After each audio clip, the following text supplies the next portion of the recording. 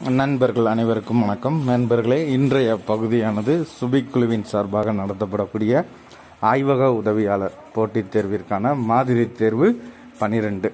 பயாலஜியில் நடைபெறக்கூடிய இறுதி தேர்வு டென்த்து பயாலஜியில் இதனுடைய பாட தலைப்பானது சுற்றுச்சூழல் மேலாண்மை. இந்த பாடமானது அதாவது என்விரான்மெண்ட் ஸ்டடீஸ்ங்கிற ஒரு டாப்பிக்கில் வரக்கூடியது ஒரு இம்பார்ட்டன்ஸான பாடம்னு கூட சொல்லலாம்.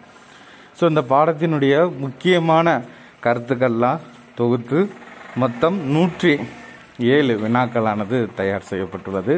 இந்த பாடமானது குறிப்பாக ஆசிரியர் தகுதி தேர்வு மற்றும் மற்றும் குரூப் ஃபோரில் வந்து பார்த்திங்கன்னா அதிகமாக எதிர்பார்க்கலாம். ஸோ அந்த அளவிற்கு ஒரு முக்கியமான பாடம்.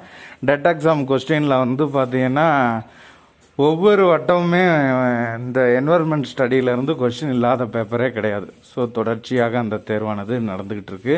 அதில் வந்து இந்த என்வரன்மெண்ட் ஸ்டடியில் கேட்டுக்கிட்டே இருக்கிறாங்க. அது மட்டும் இல்லாமல் சுற்றுச்சூழல்லாம் பேப்பர் ஒன்றில் ஒரு இம்பார்ட்டன்ஸ் காவலர் தேர்வில் வினாக்கள் கேட்குறாங்க.